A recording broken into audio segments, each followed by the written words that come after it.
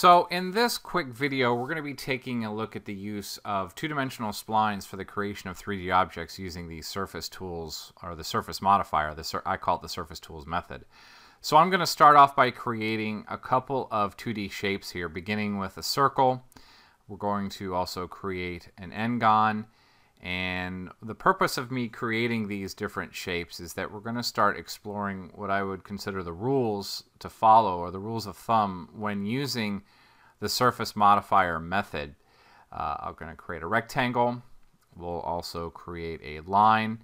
And I'm creating these with explicit shapes in mind, specifically as it relates to the number of vertices that are in the two-dimensional shapes. That's a closed spline there and here's a concave shape one. Now the rule with the surface modifier is that the surface modifier will only create a surface if it's a four, a three or four sided region or a three or four sided spline. So if I select all of these splines and I go to object properties and turn on vertex ticks, I can actually begin to count the number of sides. There's one, two, three, four.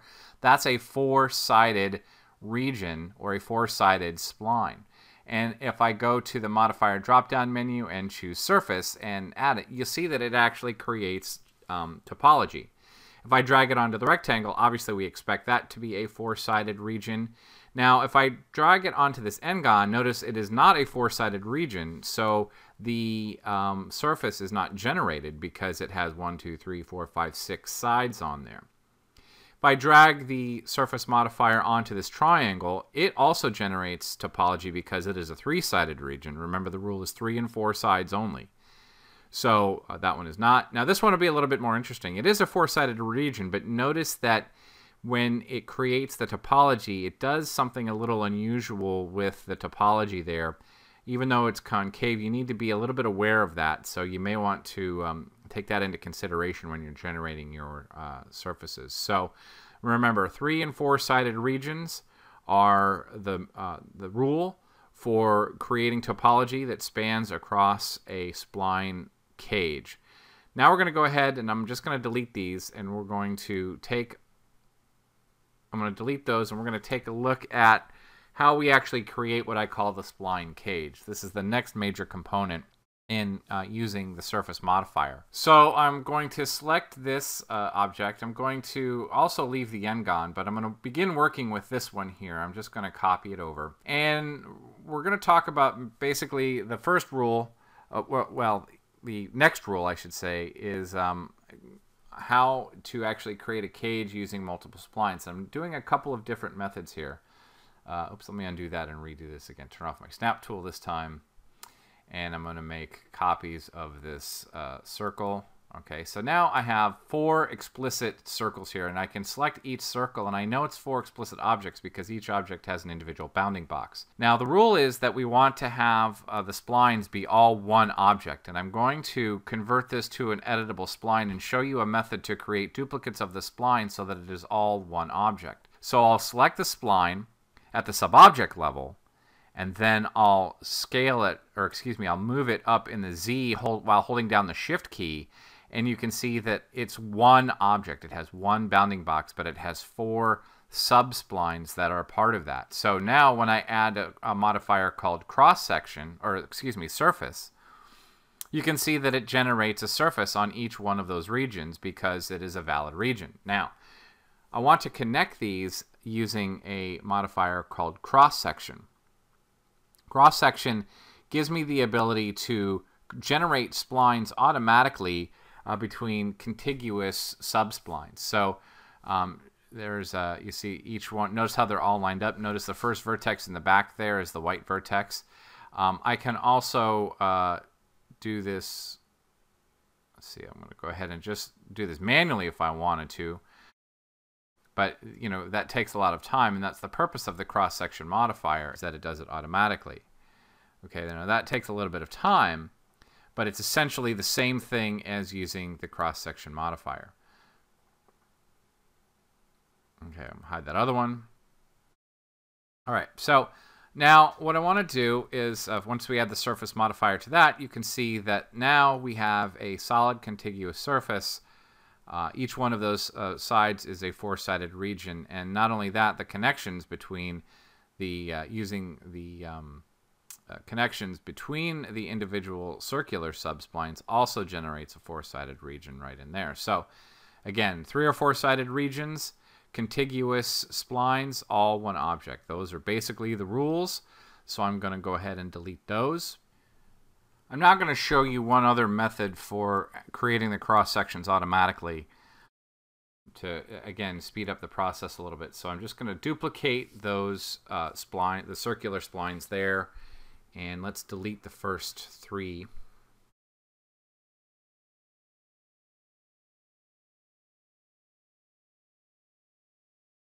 So spline sub object mode and delete. Okay, now over on the modify command panel, um, if we go into uh, uh, spline mode, uh, there's the cross-section modifier, as I just showed you. It's also embedded directly within the modify the editable spline um, object type. So if I go into spline, and you'll notice down here it says uh, connect the uh, individual copies. It's essentially the same thing as adding the cross-section modifier. So you can do it after the fact, which you may need to do depending on how you create the splines, or you can do it as you go um, and it'll automatically generate the cross sections for you with the uh, with the uh, subsplines all completely aligned. So um, again, uh, easy way to do that using the uh, connect copy checkbox.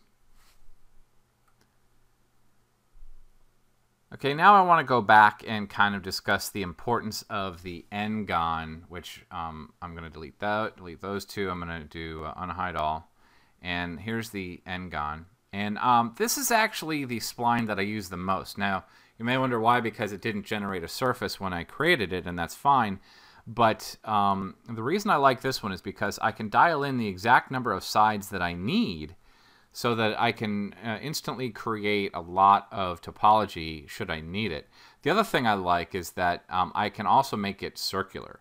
So we can have either a very uh, complex or a very efficient model, meaning we could have a circle with uh, three sides, which is a valid region in the world of surface tools. Um, or we could have, you know, any number of sides we want. If we want eight sides, which is fine. And um, I tend to use the n-gon quite a bit because of this feature. It allows me to get the number of vertices that I need directly within um, the subspline before I collapse it. Not only that, you remember you remember with the circle, the circle had a four-sided region and we could automatically generate a surface across that. With the n-gon, we can have a five-sided region but still use it to construct a cage without having to inadvertently generate um, surfaces directly within the middle. So I'll do, uh, I'll create duplicates here using our connect copy feature. And we get the same thing as we had before. The difference now is the top and bottom are no longer four-sided regions, and we um, have an open end on either on either end of that. Whereas with the circle, we had a closed top. Now, let me kind of show you how to fix this, and this is an important principle because we want to. Uh, uh, this is a, a, a technique that we would have to probably use at some point anyway. So I'm going to turn on automatic endpoint welding, and I'm just going to cross um, uh, the top there, turn on my snaps, make it a lot easier, vertex snaps. And I've just by creating, um, whoops, let's try that again. That was set to smooth. Let's drop back. Okay, now that's set back to linear. Let's try it one more time. Vertex. Yeah, see, all of these were set to Bezier. So we're going to temporarily make them all smooth, which is or um, linear, which is just fine. It, we can change them back later and uh, go back to create line and we'll create it. Now, just by creating one spline across the top, I've created uh, two valid regions. I've created a three-sided region, which you can see kind of on the upper left there, or upper right, and a four-sided region. So I've got, um, I'll go ahead and grab these all, and uh, bottom one's still curved, but that's fine make it all smooth. Uh, we can we would fix that shape a little bit later, but you can see here that we've created uh, two uh, legal what I call legal regions where we have a three and a four sided region, and um, our shape is a little bit deformed. That's fine. We can adjust that. This is actually one of the nice things about surface uh, spline cage modeling is that, or surface modeling is that we can deform the model just by deforming the subset of splines and the topology automatically updates. It's similar, you might want to say it's similar to NURBS, but um, obviously it's technically not a NURB surface. But uh, it does indeed allow you to um, to uh, pick that up. Now, oops, let me see here. Oh, I gotta, sorry, swap these two. There it is. There's the problem. Drag that down. Okay. So generating uh, topology using the spline tools method, sometimes called surface tools or the surface modifier method or the spline cage method, uh, gives you a lot of flexibility in how you're generating your topology and gives you a lot of freedom in getting really nice organic surfaces. Uh, in the next video, we're going to take a look at how we actually model something from scratch using this method and the, how you can generate some really quick results.